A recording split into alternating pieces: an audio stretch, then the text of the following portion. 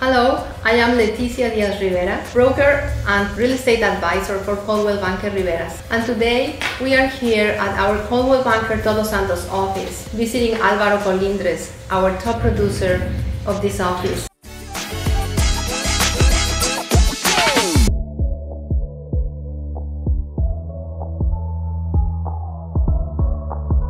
Hello, Alvaro.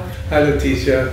It's a pleasure to see you. Thank you, likewise. And thank you for this opportunity. My pleasure, Alvaro. You have been with us for 15 years and have been recognized with many awards. Among those, the International Diamond Society last year. Yes. And the top producer for number of transactions. This is uh, wonderful. I want to congratulate you. Thank you so much. It's, it's quite an honor to receive these awards. The most prestigious award is the recognition of the President's Circle Society, and I have a copy of the letter here where it says your exceptional sales performance has earned you elite recognition and ranks you among the top Coldwell Banker independent and sale professionals across the globe. We're excited and proud to present you with the Coldwell Banker International President's Circle Award which is right behind you. Congratulations on that. Thank you, thank you. And uh, also, um, we did have uh, a first place for a number of transactions for Todos Santos and Pescadero, and company GCI top producer. Uh, for the company as well. So that was in two for, for last year's awards. And there's other awards uh, that um, I'm running uh, out of space where to put them but uh, it's nice to receive them. And my favorite award is this uh, Apple Watch that I got last year. Uh, it's the perfect color, and uh, uh, it's, it's, uh, it reminds me all the time just to, to be present and do a good job. so Alvaro, let me ask you, what got you into real estate? Well, that's an interesting question because I had never thought about getting into real estate, but it was a matter of being at the at the right time, uh, opportunity. It was a time, 2006 or seven, when the MLS was forming, and uh, I started up with a small boutique real estate firm. They were very busy, and, and they needed to hire another agent. So uh, they approached me in Encanto Real Estate where I had the good fortune of working with some architects and builders, and that's where I met Lisa Welsh, mm-hmm. uh, who became my mentor, trainer, and my co listing partner. Uh, and she taught me how to do real estate the USA way because she's a licensed realtor in San Diego. And the MLS was forming, so it gave uh, more credibility for uh, real estate uh, professionals. And uh, so that kind of got me into the real estate, and my background in hospitality trained me well for this position because uh, I have a degree in restaurant, hotel and restaurant administration, so I have the culture of service ingrained into me. Mm-hmm. Uh, I also have a degree, English degree from UC Berkeley. I'm fluent in both languages. So it seemed like real estate was the ideal profession to apply my skills. And also, I was a professional photographer, one of the first photographers in Todos Santos to use off, off-camera flash. Our firm, the Encanto Real Estate, shut down around 2008 during the, uh, the housing crisis in the United States. And then you had, uh, Coldwell Banker had another office. Yes. And then you moved yeah. to this office. Mm-hmm and uh, so we we interviewed with you, and we got hired. And then uh, Lisa and I, along with Dan Benetti, who was a, uh, the, the, manager at the time, the office manager, we dominated the market for, for a good 10 years. Yes. Yeah, mm-hmm. so, um, so that's how I got into real estate, uh, just by being at the right place at the right time, seeing opportunity, and seizing it. And what do you love most of Todos Santos? It's the physical location, one. It's a literal oasis in the desert. Whether you come from La Paz or Cabo San Lucas, you have to drive through desert, and all of a sudden you drive into town and there is this sea of palm trees. So that was one of the things that made me attractive to uh, Todos Santos. But it was a kind of a serendipitous way of, of getting here because my partner at the time had a, a student who was taking care of uh, a patient in San Francisco in hospice and he mentioned that he knew someone in Todos Santos, a well-known artist named Catherine Wall. And then I noticed uh, Todos Santos appeared in the travel section in the San Francisco Chronicle in the pink section. And then, uh, so we were looking at that, and it was one of those miserable summers of, I mean, uh, winters of January of 2000, and said we need to get out of town. So uh, we booked a trip, and it was a short flight, like two and a half hours, you know, to get here. We had to go across any major oceans or across any uh, continents or anything, and we came here, and uh, uh, my partner Rupp uh, loved it instantly, and I wasn't too thrilled about it because it's like this dusty little pueblo, and what am I going to do here? Uh, so it was the people that brought me, and also the, the oasis, the oasis, the the palm orchard. My native homeland is El Salvador, so I've got like the tropics in my blood, you know. So it's the, that that tropical feeling. That magical feeling sometimes that you get here uh, during the summer when the light becomes just so golden. It's the light here is unlike any other place. That's why so many artists and photographers come here because of the quality of light is so golden here. A little more northward, the light's a little more blue. But here, the light is like this perfect golden color, especially the sunsets are intense. My first night here, we stayed in a horrible place our first time because we were looking for a place to do retreats. But that night we had dinner at the Cafe Santa Fe. Mm, Remember the Cafe yes, Santa Fe? Yes, yes. It's like it, it was an iconic place. Iconic place, and it was like a, a destination restaurant. From the, people came from around the world. I had no idea it was here, but Robert had made reservations at, at, Cafe Santa Fe. If it wasn't for the Cafe Santa Fe, I don't think I would have moved here. because they served one of the most incredible meals I've ever had. And I said, if they know how to source the precious fish, organically raised beef, lamb, uh, the homegrown vegetables, uh, well-trained staff, uh, wine and spirits, the, the service was just precise. It was so consistent. I said, if this can be pulled off here, then there's something going on beneath the surface, you know?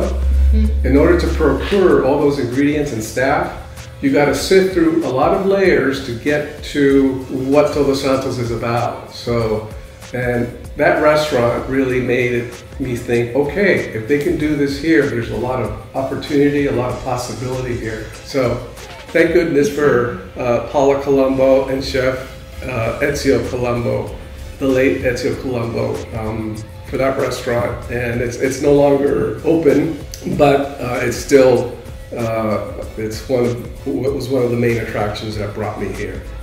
Alvaro, tell me, why do you think people choose to live and vacation in Todos Santos? Well, I think uh, the people who choose to come and visit and live in Todos Santos have a sense of adventure and uh, exploring uh, the last frontier. So it's people who are adventurous who come to Todos Santos. Uh, Todos Santos is a pueblo mágico, uh, which means it has special uh, designation for cultural, geographical, and historical value. I recommend that people come for at least a long weekend, a week, two would be ideal to settle in, slow down, get used to the slower pace of life here. Mm-hmm. You know, because it does take a little time. And since it's a small town, we have an actual church, a mission, one of the uh, 19 missions that go from Tijuana all the way to Cabo San Lucas, uh, Iglesia de Nuestra Senora uh, del Pilar. And it's, it's a community area for festivals, for rallies, and it's a town with a heart. It has a center. And a lot of the cities and small towns around southern Baja uh, are kind of more spread out, and it's kind of hard to find the core. Mm-hmm. And within a short amount of time, you get to meet a lot of people, you know? And then you get to network and ask questions and who's your realtor and who's your builder and what was your experience. And the food is what really uh, keeps people coming back because we have some of the best restaurants in all of Baja in this little town, the little funky, dusty town. and, uh, and that's our main entertainment is, is the food. Um, after we've done our work. Well, there's so many artists and professionals who work remotely now, and in the evening they go out to dine and enjoy the, the fine cuisine that we have. And now we have lots of choices. Uh, it's not a far flight from LA, San Francisco, uh, Pacific Northwest, uh, Colorado, our feeder markets. You know, it's like a three-hour flight. You can get here pretty quickly, and once people get here, they just settle in and, and discover the magic, and uh, or feel the magic. You know, but it takes time. I love uh, this town. I love the culture of the, the local community. Uh, they're very kind, um, hardworking people, um, and they have this live and let live attitude. And I think that's the general culture of Mexico. You know, it's like we we welcome people to Mexico. We're happy to see you here and have you here and partake in this beautiful place. And uh, and I feel super safe here. You know, super safe. So uh, we have uh, good medical care. We have schools now. Uh, more families here moving uh, with children, so schools have become much more important. Before it was known as a retirement community. And so now we have this diverse uh, uh, culture, uh, which includes um, younger people with families who come here, have their own businesses, work remotely.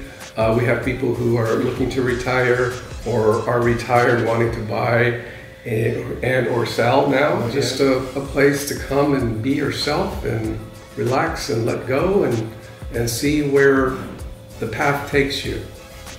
Which are the most uh, uh, neighbor, most attractive neighborhoods of Todos Santos? Well, I'll, I'll speak about my neighborhood. Uh, I, I, love my neighborhood. I live uh, on the way to La Poza, mm-hmm. which is uh, on the way to the lagoon, the freshwater lagoon on the west side of town. It's like halfway between downtown.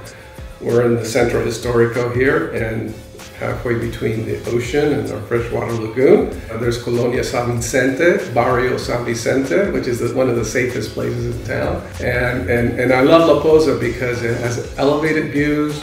You can see the palm orchard, the oasis, you can see the lagoon, you can see the uh, mighty Pacific Ocean, you can see the town, you can see the mountains. Mm-hmm. So for me, La Poza is one of the best neighborhoods, but most uh, under uh, recognized because it takes the road getting there is a little bumpy, and, and, and so you got to drive really slow, which is a good thing, you know. Yes. It, it just you, you just have to take your time getting someplace. Uh, but the most uh, the most places uh, are coveted are Centro Historico downtown. Uh, it's very expensive, very limited inventory. Mm-hmm. Um, some places come on the market. Um, I sold a Todos Santos in uh, two years ago, um, both sides, and now it's being totally remodeled. And, uh, and my, my, clients are buying property up in the central area. The other uh, most popular neighborhoods are La Cachora, which is kind of like the Beverly Hills of Todos Santos, uh, where the early settlers in 1990 came and built these big homes uh, for their families and grandkids to come and visit. And and then over time the palm trees grew and they lost their ocean views. And uh, and then those people um, started said oh, these homes are too big. So they sold the big homes they downsized and bought smaller homes or built uh, lots and built smaller homes and but they didn't leave you know they stayed here but so that La Cachora is very very much in high demand um, and then San Sebastian, also in high demand. I just listed five lots there, and they sold in three days. Oh wow! Yeah, and um, that's amazing. And uh, and it's a kind of a little quiet seaside community. It takes a little effort to get in and get out. There's only one road in and one road out. I think of, of all the neighborhoods, uh, Las Tunas is the most popular because Las Tunas is on the side of a gentle hill hillside that just tapers down towards the ocean so everybody has ocean views, and that's where most of the expat community lives, um, where they have, where they build their dream homes. Uh, must have ocean views. So if you're a place like from Nebraska, where you don't have an ocean, then you must have an ocean view. and growth is moving northward um, towards La Pastora because now there's electricity out there. Uh, there's a really popular restaurant in Avia. Uh, there's a glamping sites, and electricity goes way out and uh, at some point it stops. So all the neighborhoods are popular, but right now the growth is in Las Tunas um, because there's now a new central or commercial district that has markets and restaurants and uh, little seat, uh, little pop-ups of uh, little taco trucks and, and, and plants for sale and foods for sale and things like that. And that's uh, now on the east side of the, the main road, Las Pleitas Road, is called La Horcadita. And that's now where most of the sales are happening because uh, you can still buy a lot there for if you can find one, for about sixty to 120, 150,000 dollars for a lot. If, if you want something lush, tropical, you want to be on the ocean side of the road. If you like desert, if you, views are most important, then maybe, and depending on your budget, you're on the mountain side of the road. And uh, but just about everywhere, uh, if you spend enough time here, you'll find your place and you'll find your neighborhood and where you want to build your home and spend either the rest of your life here or at least a good amount of time here. Alvaro, what is the average price per square meter on the lots on these neighborhoods? Two to three years ago, we would give you an average price of $35 a square meter, but now that is, is, is doubled. Um, uh, so we're starting at around $60 a square meter for, uh, for a lot, especially on the ocean side of the road. Uh, and that can go up to about um, $200 per square meter as well. Uh, just depending on the lot, if it's in Las Tunas, uh, the San Sebastian lots, one sold for $187 a square meter, uh, ocean views and the smaller lots sold for $57 a square meter. On the mountainside of the road, you could probably find a lot for about $50 a square meter. Might have electric, but you'll need to truck in water. Interesting. Thank you for the information. Yeah, and, and also the, the prices in, in La Poza are, are around $150 a square meter. Uh, there's many lots up there, and now it's since there's limited availability, the prices have gone up. And, and, and in town, um, we're talking several hundreds of dollars for uh, a small lot per square meter. square meter. Per square meter. Wow. Cha- Prices have changed in the last five years. In the the last five years, I would say that in the last five years, home prices have doubled. Uh, property values, land values have tripled. Wow. Yes. What is the average price per square meter of construction in this? Well, we like to quote uh, per, per square foot, and uh, uh, we have our own building company called Riveras Building, and we just did a project for a client who bought a, a lot sight unseen. Uh, we designed the house sight unseen It's amazing. and built this, the, the home site unseen. Uh, it started off at about $140 uh, per square foot with everything they wanted, their wish list, and then and then and then we had to uh, kind of adjust the pricing. So it came down to about $130 per square foot. So we're starting. I'm starting to quote at $135 per square foot with a res building, and it could go up to $200 uh, per square foot depending uh, what the lot is like, if it's a level lot or if it's at a steep incline. If you're on the edge of an, arroyo, you might need a, a retaining, good retaining wall. And the finishes, you know, if, if you like simple finishes, it could be very affordable. But if you like granite, marble, and saltillo tile, then high-end appliances, the, the price goes up. But I would say the average price, let's say $140 a square foot for most buildings. Very affordable. Thank Yeah, you. yeah. Mhm. Mhm. Alvaro, it seems like there's so much going on in Todos Santos. So if I am interested in buying or selling property, why would I choose you? Wow, that's a great question, Leticia. I'm a full-time, licensed, seasoned real estate professional. I live here full-time. I own my own home, and I have the culture of service ingrained in me with my training in hospitality. I'm totally fluent in both English and Spanish, verbally and in writing. So I've been trained uh, to be of service uh, to my clients. I don't want to talk too much about myself, but I would like to read you one review from one client, and that pr- pretty much sums it up. Uh, this is from a sale I just made uh, this year, last year, and her name, um, a single woman who lost her husband, and uh, so I helped her through the process. So this is from Elizabeth uh, from San Diego. Quote, you may think that you are his only client, that this level of focused attention and care that Alvaro will give to you and the process on which you are embarking to buy or sell your home. He will utilize the experience of many years and solutions confidently and shepherding the variables so you can reach your goal in a timely manner. If a realtor with these qualities, knowledge, and skill, someone who exhibits integrity, patience, communication, that is excellent and consistent, keeps you informed readily and often, who steps up and confronts any discrepancies so that you are protected. Sounds good to you? Then Alvaro is your man. With all of the above, he helped me to sell my modest home in Todos Santos and leave it in good hands. Thank you, Alvaro. I appreciate uh, that you are and did on my behalf. May you have another prosperous year. So, uh, you can go to our uh, Google website, type in uh, Todos Santos, uh, Coldwell Banker Riveras. There's numerous reviews, not only from me, uh, but for uh, the rest of our staff. And the, the other reasons is that um, most people know me around town, so you can ask just about anybody and they'll know me since I've lived here for 22 years. And not to mention that I, it's not just me you're hiring, you're hiring Coldwell Banker Riveras, which is an umbrella of protection.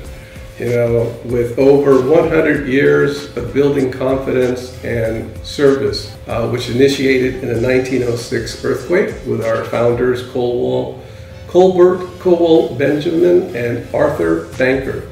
And they set the stage and uh, for the real estate uh, franchise for Coldwell Banker, and we continue in their tradition of providing the best quality service for our clients. Not to mention, we have a trusted and recognized brand, and we are in service to the brand. You know, we are in service to the brand and providing uh, the best, best service. And what I love about Coldwell Banker is that it's a family-owned uh, company, and so it has family values, and those family values have a trickle-down effect down to us. You know, and, and when I mean us, I mean in our hearts, you know, and it's a really uh, wonderful feeling for me. Thank you. And um, I also have uh, a support team. We have a team of attorneys, uh, accountants, civil engineers, structural engineers. We have uh, uh, home inspectors, uh, electricians, plumbers. Uh, we have uh, a lot of the support we need to help clients sell their homes, to get their homes ready for market, uh, to educate clients uh, when they're ready to buy and make sure that what they buy is their investment is protected. So we, we do, you know, title reports, we use escrow, uh, just like the USA way. So I believe in cooperation versus competition. Um, I play well with others, whether it's my staff here in the office or 40 uh, team members in nine offices in Southern Baja, and also our competitors uh, around town. Uh, you know, we were the only franchise in Todos Santos in 15 years ago, and some small boutique firms. But most of all, um, I love living here. You know, and I've seen the changes over the last 22 years. And I have lots of experience in, to share in buying a home and also preparing a home for market. For me, a home is one of the most precious commodities. Uh, think about it. Everyone wants and needs a place to feel safe and secure and feel loved. You know? So that is priceless. But real estate is an investment. So either way, it's a win-win situation. So whether you're a buyer or a seller, if you're my client, or if you're a client from another broker, it's win-win or no deal at all. So my name is Alvaro Colindres. I'm with Coldwell Banker Riveras in Todos Santos. I'm here with my broker, Leticia Diaz Riveras. I have to say, um, you're such a gracious, kind, and firm person, and uh, I have much uh, admiration for you and what you've created, and, and continue uh, to evolve our brand. And thank you for uh, the coaching that you provide us. You know that has really uh, helped helped me a lot get through some stuck places. So thank you so much. No, thank you It's a for pleasure. your dedication. It's thank a pleasure. You. Thank you, Alvaro. Thank you, Leticia. I want to thank Alvaro for being with us here today and for all the years of dedication to the brand and to our team. Thank you, Alvaro. My, my pleasure. Thank you. So I hope you all enjoyed this video. Thank you for watching and I'll see you soon with our next agent that we're going to interview.